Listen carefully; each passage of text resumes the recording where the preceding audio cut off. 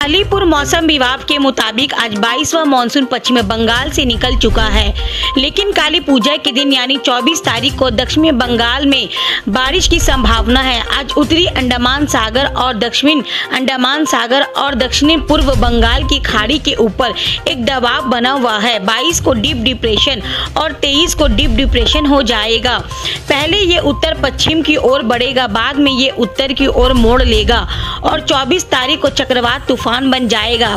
25 तारीख तक चक्रवात एक और मोड़ लेगा और उत्तर पूर्व की ओर बढ़ेगा और बांग्लादेश पश्चिम बंगाल की टाट पर पहुँच जाएगा। इसके बाद किस दिशा में जाएगा, ये आगे की समीक्षा से कहा जा सकता है।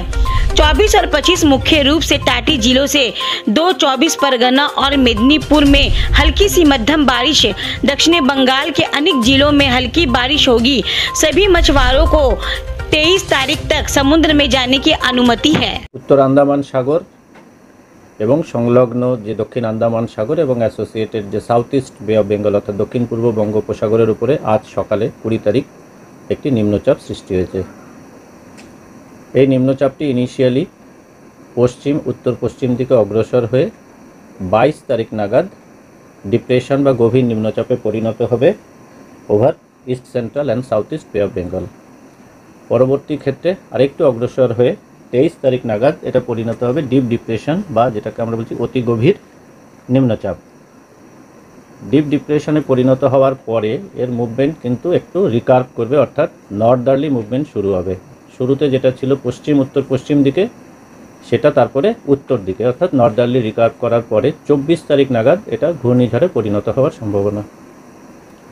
ঘূর্ণিঝড়ে পরিণত হওয়ার পর থেকে এটার মুভমেন্ট আরও রিকার্ভ করতে থাকবে এবং ধীরে ধীরে উত্তর উত্তর পূর্ব দিকে অগ্রসর হয়ে পঁচিশ তারিখ নাগাদ আমাদের ওয়েস্ট বেঙ্গল বাংলাদেশ কোস্টের কাছে আসবে। সমুদ্রের উপরেই কিন্তু থাকবে সেই সময়টায়। এরপরে ফার্দার মুভমেন্টটা আমরা নেক্সট আপডেটে দেব। তাহলে চব্বিশ এবং পঁচিশ, এই দুদিন মূলত কোস্টাল ডিস্ট্রিক্ট অর্থাৎ আমাদের দুই চব্বিশ পরগনা এবং পূর্ব মেদিনীপুর, এই জেলাগুলোতে হালকা থেকে মাঝারি বৃষ্টি। এবং বাকি যে জেলাগুলোতে সংলগ্ন জেলা, সেখানে মূলত হালকা বৃষ্টি। চব্বিশ ও পঁচিশ, দুদিন না হলেও এর মধ্যে যে টোটাল ডিউরেশনটার সময় আইসোলেটেড হয়েতে ভারী বৃষ্টি শুধুমাত্র দুই চব্বিশ পরগনা এবং পূর্ব মেদিনীপুরের দু এক জায়গায়। ওয়ার্নিং এই মুহূর্তে যেটা মেজর আছে, সেটা হচ্ছে ফিশারম্যান ওয়ার্নিং যেহেতু আমাদের বেয়ের উপর থেকেই সিস্টেম যাচ্ছে, ফলে সমস্ত মৎস্যজীবীদের তেইশ তারিখ সকাল থেকে সমুদ্রে মাছ ধরতে যেতে নিষেধ করা হয়েছে। যারা অলরেডি মাছ ধরতে চলে গেছেন, তাদেরকে বাইশের মধ্যে ফিরতে বলা হয়েছে। আমরা কন্টিনিউয়াসলি মনিটর করছি সিস্টেমকে এবং ডেইলি আপডেট আমরা এটার থেকে দেব। তারিখ, আমি তো কালী পুজো বুঝি না, চব্বিশ এবং পঁচিশ, এই দুদিন। কোস্টাল ডিস্ট্রিক্টগুলোতে মূলত দুই চব্বিশ পরগনা, পূর্ব মেদিনীপুরে হালকা থেকে মাঝারি বৃষ্টি আইসোলেটেড ওয়েতে দু এক জায়গায় ভারী বৃষ্টি।